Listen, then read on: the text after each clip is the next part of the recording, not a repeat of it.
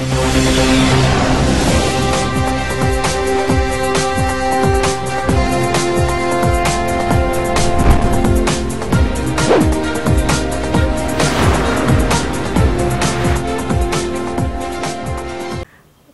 Atheism channel ప్రేక్షకులకు స్వాగతం.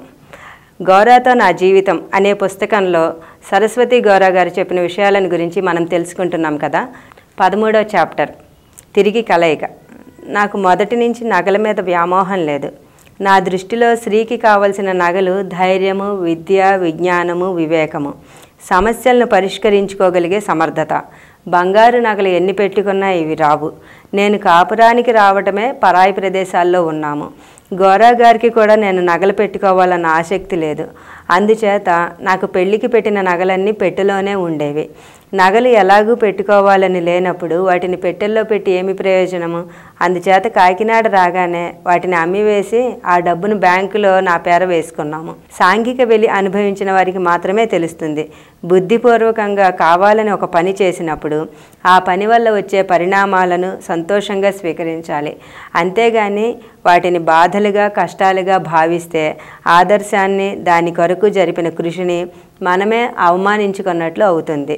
అందుచేత గౌరా గారు నేను ఎప్పుడూ దేనిని కష్టంగాను బాధగాను భావించలేదు.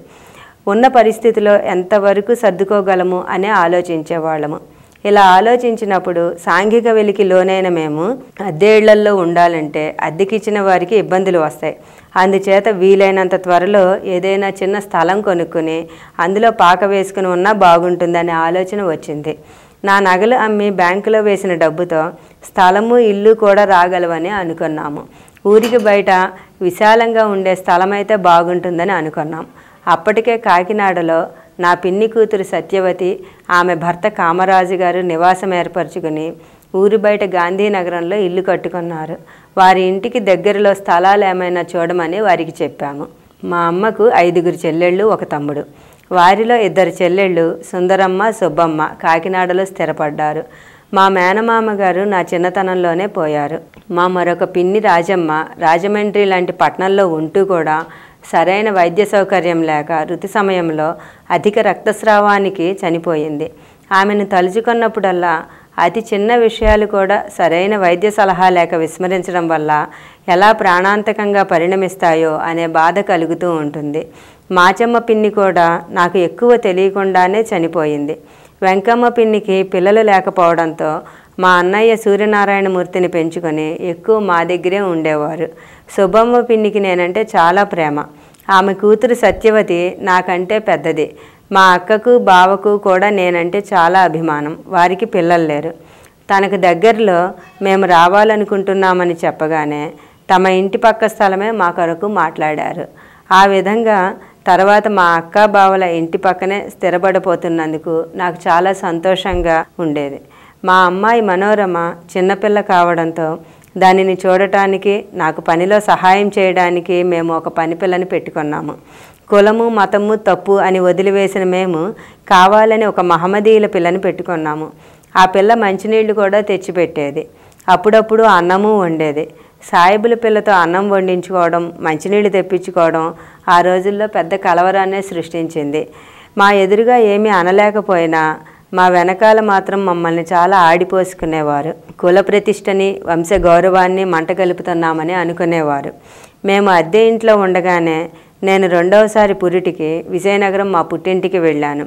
ఈలోగా మా మామగారు అత్తగారు మా గురించి చాలా ఆలోచిస్తూ ఉండేవారు. ఎవరు నమ్మిన సిద్ధాంతాలకు వారు కట్టుబడి ఉండడంలో తప్పు ఏముంది? తన విశ్వాసాలను బహిరంగంగా ప్రకటించడం నేరం కాదు కదా. బహిరంగంగా చెప్పింది ఆచరిస్తే దోషంగా ఎందుకు భావించాలి? ఈ విధంగా మా మామగారు ఆలోచించారు. ఈ ఆలోచన ఆయనలో సర్దుబాటు తీసుకుని వచ్చింది. అప్పటికే మా మామగారు రిటైర్ అయిపోయారు.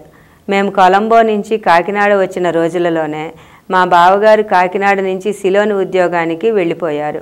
ఇంట్లో మా మామగారు అత్తగారు ఆఖరి ఆడబిడ్డ పన్నెండేళ్ళ సామ్రాజ్యం ఎనిమిదేళ్ళ మరిది సాంబశివరావు జోగమ్మ గారు మాత్రం ఉండేవారు. నేను పురిటికి విజయనగరం వెళ్ళడం వల్ల గౌరా గారికి కొంచెం తిండికి ఇబ్బంది కలిగింది. అటు పునరాలోచన రావడం ఇటు కొడుకు తిండికి ఇబ్బంది కలగడం ఏమైతేనేమి సహజంగా వారందరూ మా ఇంట్లోకి వచ్చేశారు. చిన్నపిల్ల మనోరమ లేకపోవడంతో అవసరం లేక పని మనిషి మహమ్మదీల అమ్మాయిని తీసివేశారు. ఏమైనా అందరూ ఒకే చోటుకు చేరారనే వార్త విజయనగరంలో ఉన్న నాకు చాలా సంతోషం కలిగించింది. థ్యాంక్ యూ మరిన్ని కొత్త వీడియోల కోసం మా ఛానల్కి సబ్స్క్రైబ్ చేయండి. క్రింద ఉన్న బెల్ ఐకాన్ని యాక్టివేట్ చేయండి.